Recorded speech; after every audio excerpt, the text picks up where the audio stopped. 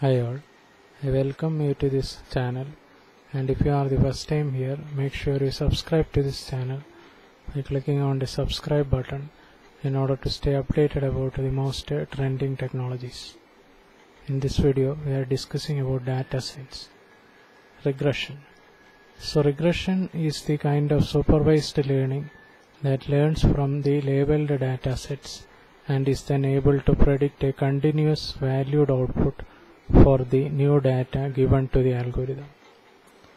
And it is used whenever the output is required is a number such as money or height etc.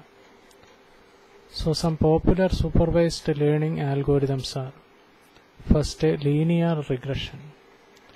So this algorithm assumes that there is a linear relationship between the two variables input and output of the data it has learned from and the input variable is called the independent variable and the output variable is called the dependent variable.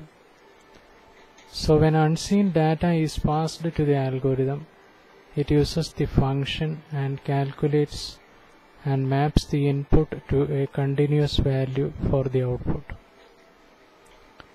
Then logistic regression.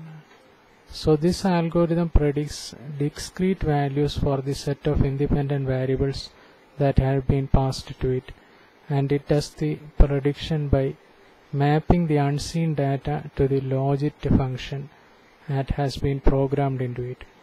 And the algorithm predicts the probability of the new data and so its output lies between the range 0 and 1 then polynomial regression.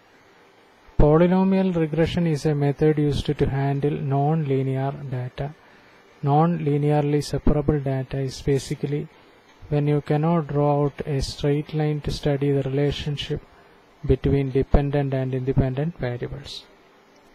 Support vector regression.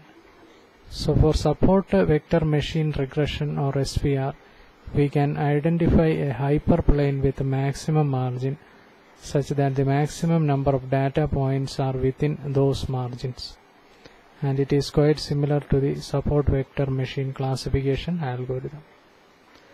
So this was a brief discussion on data science and if you are the first time here subscribe to the channel by clicking the subscribe button in order to stay updated about the most trending technologies.